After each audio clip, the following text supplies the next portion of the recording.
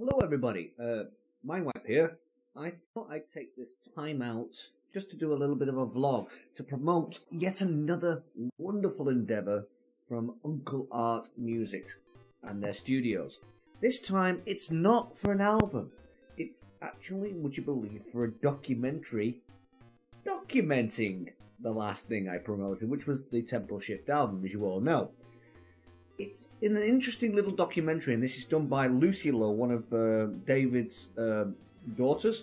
She's put a lot of time and effort into this, and she's now actually getting very, very close to completion. She's only needing now a couple of scenes actually to be recorded. She needs a few bits of extra uh, funding to actually cover a few little crossing the I's and dotting the T's with legal uh, reasons for getting it both on television or on screening, and also getting it past certain classifications, and also just to uh, finalize payments to uh, certain film locations and sets where they've actually uh, filmed some of the uh, the footage for this documentary.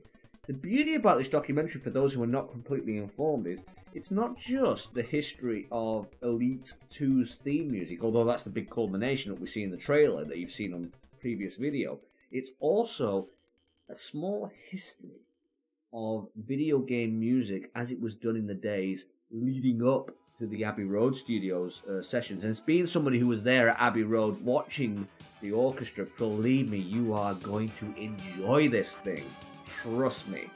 It's over halfway funded now with over £5,000 uh, raised uh, with an £8,000 goal. So check it out, you know. Links in the description.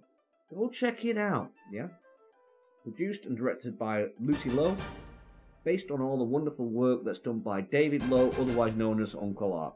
I can't say any more than that. If you're a big retro video gaming fan, and especially if you like retro video gaming music from the 80s and 90s, from the things like the ZX Spectrum, the Amstrad CPC 464, the Commodore 64, the Amiga, the Atari ST, the PC back in its DOS days when they had MT32 uh, MIDI units and stuff like that before know, Gravis Ultrasound, before all the wonderful orchestral stuff that came out, uh, you know, that we know and love today. This is something you might want to actually check out, folks.